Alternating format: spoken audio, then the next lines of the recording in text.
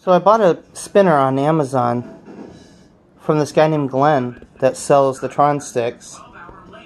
And it doesn't work whatsoever. As you can see, the mouse cursor don't work when I spin it.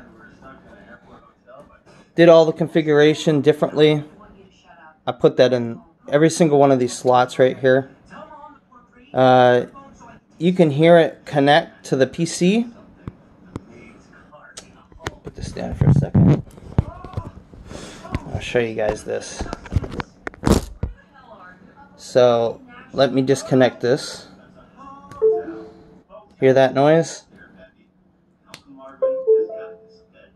No detection on the.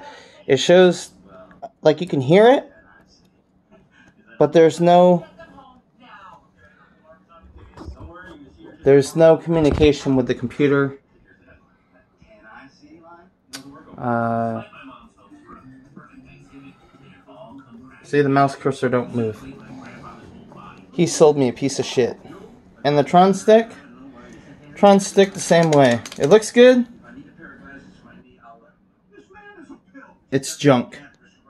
It doesn't even light up that much. You can barely see the lights. Junk.